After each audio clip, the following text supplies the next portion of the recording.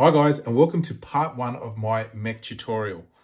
Now, I'm going to be releasing a couple of videos over the next few weeks and they're going to cover off all the mechanical components um, that I used to build the Lego Gundam.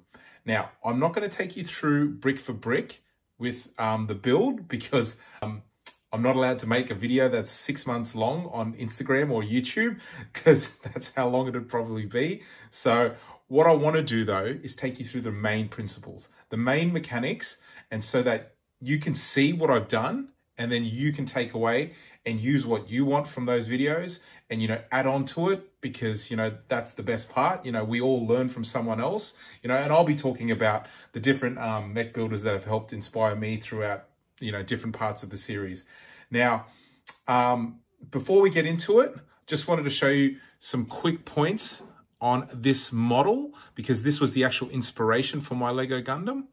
Um, I'm going to take you through in part one, the arm and um, the shoulder. So we're going to start off with the shoulder first and I'm going to show you all the different parts of articulation that we have to capture with our custom mechanical uh, Lego joints. So first off, we've got a lateral shoulder movement. We have to be able to capture that. The armor actually lifts up so that the arm can raise higher than just the shoulder point. You've got a shoulder rotation, 360 degrees. You've got, you've got what's called a bicep swivel here.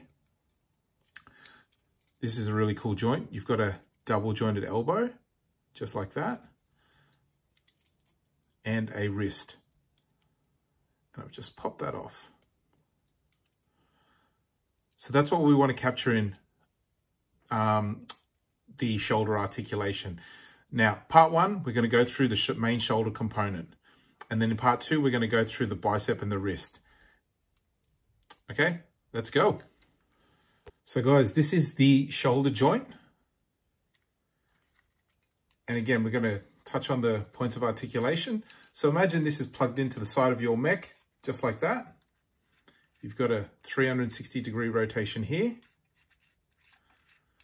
That goes all the way around.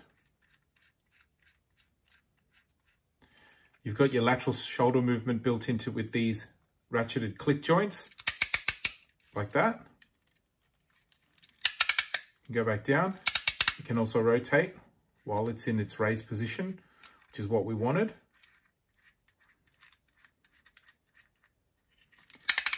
And then you've got your biceps, bicep swivel here, controlled by this drive shaft.